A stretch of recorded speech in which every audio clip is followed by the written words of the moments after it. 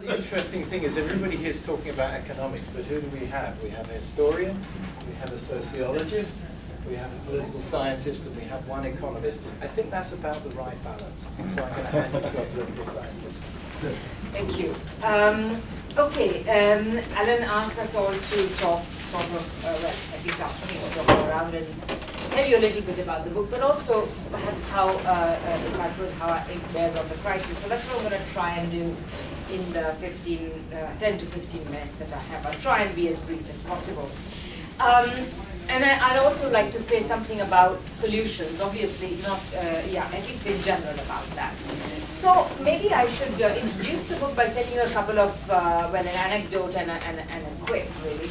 Um, the anecdote goes something like this. I started, I mean, the book has been a very long time in writing. The book I'm referring to is my book, Geopolitical Economy After US Hegemony, Globalization and Empire.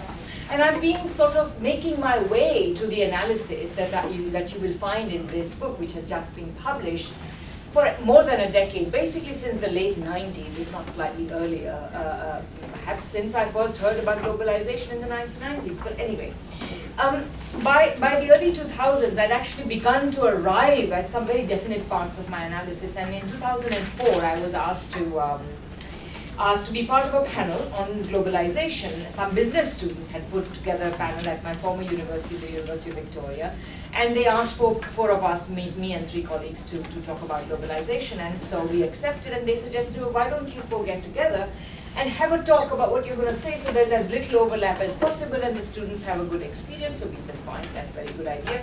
So we got together and one of my colleagues started the meeting by saying, well, I'm going to argue that globalization is fantastic, it's the best it's the thing since sliced bread, lifts all boats, you know, prosperity, free markets, etc., etc. My second colleague said, oh, no, no, no, no, no, no, that is just so wrong. I'm going to argue globalization is an unmitigated disaster. It has led to economic crisis, reductions in incomes across the world, blah, blah, etc. So my third colleague said, who was actually a colleague of mine in political science, he said, ah, well, you see, I'm going to argue that whether you like it or not, globalization is inevitable and we've just got to deal with it, blah, blah, etc. I was listening to all this and I thought, I must say, I, I, I had um, some fun uh, doing this. I said, well, and I'm going to argue that globalization is over. And uh, so this uh, then became the basis upon which, and, and you'll see why I, I said that, but you will see, I mean, in, in, in insofar as my book contains, and it does contain a, a, an account of globalization, I, it is what I call an ironic account of globalization. That is, globalization some people pointed out, I think quite effectively, that globalization wasn't what it was all cut up to be, you know, and they presented evidence, and they in fact forced such a retreat on globalization discourse that after they wrote, I'm thinking particularly of Hirst and Thompson, but after they wrote, they forced globalization discourse to be so ambiguous that if you try to bend your mind around it, I mean, you know, they say it's a little bit of this and a little bit of that. I mean, quite frankly, it's, it will drive one batty to try and see some any coherence. But anyway, uh, so my, my point is that my, I asked the next question. I said, well, if globalization isn't what it claims to be, then why is it that we suddenly started talking about globalization in the 1990s? So that's the anecdote. It, my account is an ironic one. But of course, when I started writing the book, it had to become much bigger than that, and it had to include empire as well, the notion of US hegemony, empire, etc. And on that, I guess the best way to understand what I'm doing with the idea of empire is the following. You have heard people say that the United States is hegemonic, imperial, whatever you want to call it. These terms are used interchangeably, and of course, every author has his or her own definition of that. Um, you have, of course, heard other people saying that uh, the United States may have once been hegemonic, but it is no longer so, it's in decline, etc. But I don't think you have, uh, it's very unlikely that you have heard anyone saying that the United States tried very hard to dominate the world economy after the model of the UK's dominance in the 19th century, but failed. The United States was never hegemonic. This is my argument. So that's sort of um, the, the, the, broad, uh, at least a couple of uh, uh, elements of you know how I came around to, to, to, to writing this book. Uh, very briefly, the book has three arguments. The first argument is what I call the materiality of nations argument. That is to say that uh, uh, people are very used to the idea that classes are the material products of capitalism.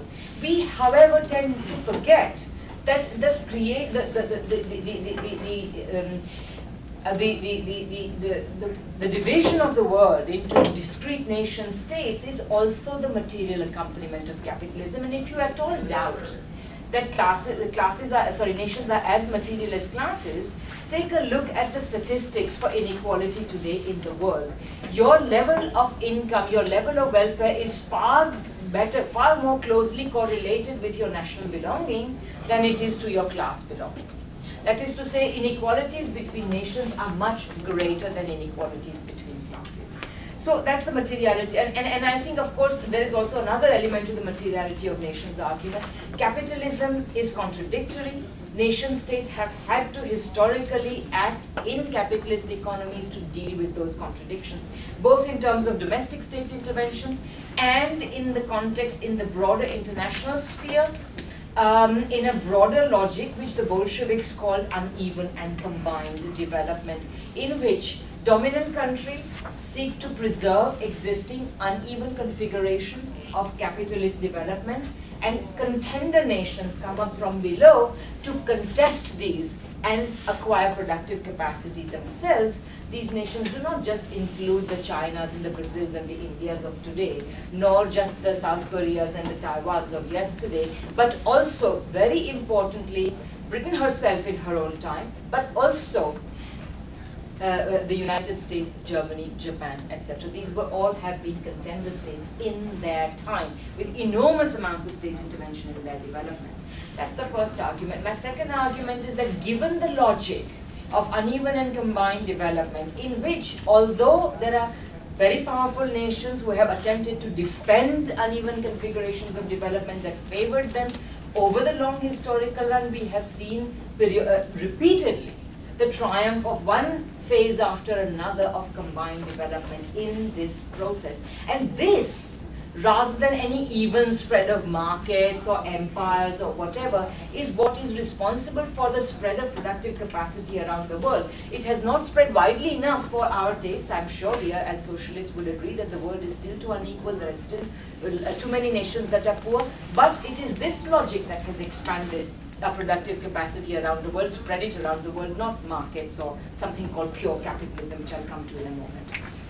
So the second argument, therefore, is that the domination, uh, uh, the, the, the UK's domination, as the first industrial country in the world, the UK's domination over the world system was inevitable. But it was also unrepeatable. And so although the United States, which had always been expansionary, imperialistic, etc. from its beginnings, although it um, uh, uh, uh it wished to, to, to, to extend its domination around the world and it made repeated attempts to do so, it failed. Because the conditions that were necessary for such domination did not exist. There are a variety of them. I, I talk about them in my book, but that's the second argument, the inevitable UK hegemony and the impossible US hegemony. And um, my third argument is that in the process of trying to maintain uneven configurations of capitalist development over which they dominated, or attempted to dominate, both the United States and the UK produced what I call cosmopolitan discourses, discourses in which the world capitalist economy appears to be a seamless whole, single economic unit. Okay, uh, so uh, uh, Britain produced free trade, and then of course belatedly in the UK, US's case, because the US case is much more complex, it was never hegemonic. But belatedly in the 1970s, the discourse of US hegemony comes on, on, on, on stream, and the most recent manifestations of these discourses are globalization and empire, which are very interesting uh, uh, from a point of view of their cosmopolitanism. The one says that no nation state matters, they're irrelevant the second one is interesting cousin of this view. States matter, but only one state, and that's the United States. Right? That, and, and, all the others, they may huff and they may puff, but they can never blow, blow U.S. dominance down. But of course, as we shall see, they have. Okay, so um, uh, uh, so these, these are the three main arguments. Let me just tell you briefly about some of the elements of, of the book. So uh, one of the things I do is uh, in the book is, uh, and of course the name geopolitical economy, it occurred to me at a very late stage in the book, and of course when it did occur to me, uh, what blew me away was the, was the fact that nobody else had thought about this term before. I, I, think it was begging to be, to be born, and, and well, I was glad to oblige.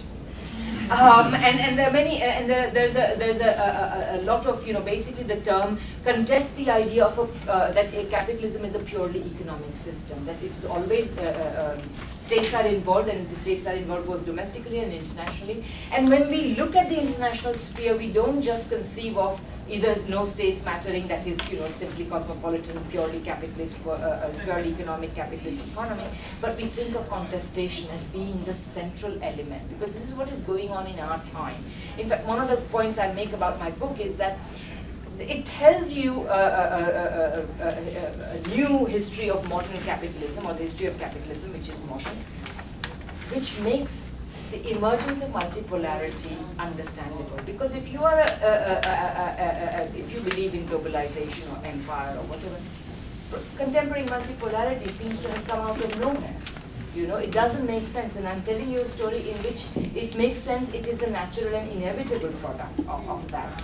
So um, I, I, then also show you, I reconstruct an intellectual tradition within which, it, you, and this may surprise you, but there are uh, the, the, sort of contrary evidence uh, was always there, but the, but the dominant discourse uh, tended not tended to ignore it basically, and I trace this intellectual lineage back into classical political economy, uh, up to and including Marx, and then sort of leaping over neoclassical economics, which is no good. You come to the critics of neoclassical economics, such as Keynes, such as Polanyi, etc., all of whom do help us to understand what's going on. Um, uh, I, I, also have a very, uh, uh, uh, I think many people have told me already now that the book is being read, I'm receiving feedback. The critique of hegemony stability theory uh, is very surprising to many people because most of most people have never contemplated the very simple fact that it did not arise until the 1970s. So the so-called period in which the United States was allegedly hegemonic, 50s and 60s, never saw the emergence of such a theory. Because quite frankly, the hegemony was entirely retrospectively constructed in that period itself. If you actually examine the historical record of the period, as I do in the book, you will see that it was terribly contested. Okay? So we can talk about that.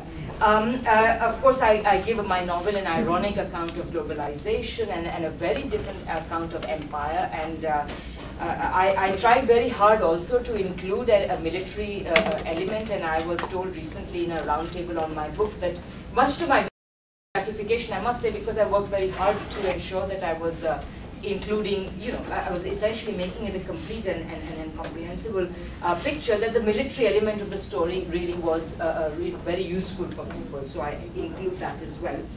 Um, just a couple of points to, to, to round off my uh, the, the, things in it. it. Of course, a key point is that when the United States began nursing the desire to, to emulate UK dominance, uh, by the time it did so in the early 20th century, it could not do, go the whole hog. One thing it could not do was have formal colonies because basically the world was accounted for.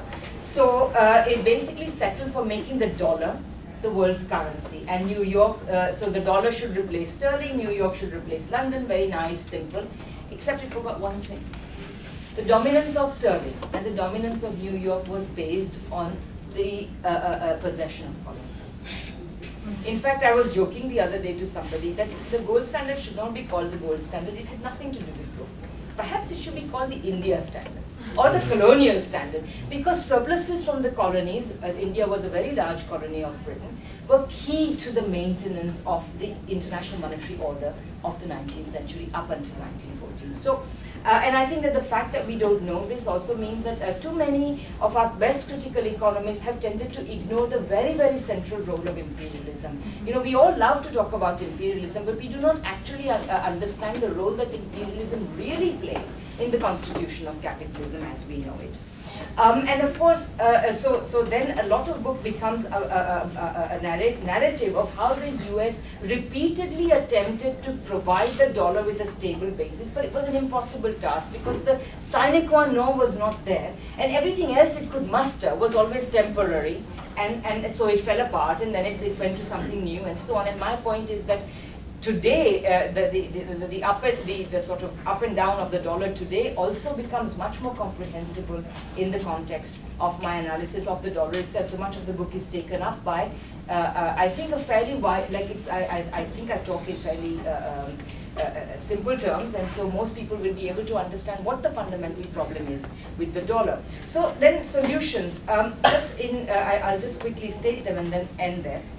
I think that if states are central to capitalist economies, I also think that there is a sort of false rhetoric of uh, oppo uh, or oppositions between reforms and reforms and revolution, which should not be there. I think that part of the solution should simply be that people should create collective movements and collective mobilizations to demand what they need from their states. I think this is a very simple thing. Whether it is a, a, a environmentally sensible and, and, uh, and economically necessary industrial policies that you know do not allow your own domestic economies to go be laid waste to free trade and so on. Whether it is welfare, whether it is spending on cultural activities, all of the things we need, we should simply demand. I think that the fact that capitalism is suffering a crisis, as Henry says, of overcapacity and uh, uh, over uh, production will simply mean that if capitalists cannot invest, and it is quite likely that they will not be able to, they will simply become less and less relevant to our life, and it's very possible that the end of capitalism will come with a whimper and not a bang. So uh, I think that this is what is one thing. At the international level, I think progressive movements need to support um, uh, uh, forms of international economic governance that are not premised on the dominance of any states, but on the sovereign equality of states so that each one of them, and here I think Keynes was very important, each state has the capacity to manage its own affairs internally and enter into those economic relations with other states, whether they be for investment or trade, which are mutually beneficial. There is, I'm completely in favor of more trade, more international investment, but not on terms that devastate some economies and enrich others. So, uh, and, and finally, I would say that since I talk about nationalism, um, actually nationalism is typically regarded as, you know, basically the close cousin of fascism.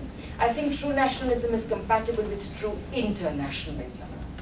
And, uh, and, and that is to say that uh, if you're truly nationalist, you also recognize the other people's rights to order their own societies in the way that they would like, support democratic forces there, etc. But because typically international uh, cosmopolitan discourses today also have tended to uh, uh, support uh, uh, the in imperial interventions of dominant states, and that has to stop. And I think it can stop.